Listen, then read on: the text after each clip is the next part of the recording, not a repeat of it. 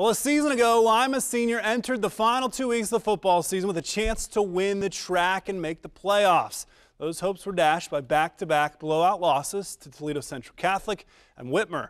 This year, the Spartans have already clinched a playoff berth and the TRAC title very much theirs for the taking as they once again finish the season with the Fighting Irish and the Panthers. Spartans say they're stronger in body and spirit this year as compared to last. And a packed house at Spartan Stadium, they would get off to a very good start in front of the home fans. This one yours at 11:15 here on TV 44. Darius Gordon to Ruben Flowers picks up four or five yards, brings up fourth and seven.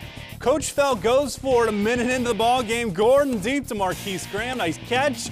Marquise getting inside the red zone. First down, Lima Senior. Then it's Gordon to Rico Stafford in the corner.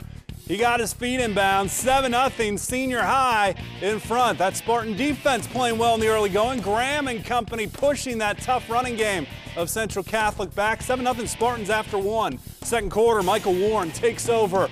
Warren Peace, touchdown, 7 7. Gordon trying to make it a back and forth affair. Nice keeper for the signal caller all the way down inside the 10, but Central Catholic would not allow the Spartans to score on this drive, so Warren capitalizes on the other end. Touchdown makes it 14-7 Central Catholic, and that is your game-winning touchdown. They go, well, it's the go-ahead touchdown, not the game winner. But Central Catholic never looks back.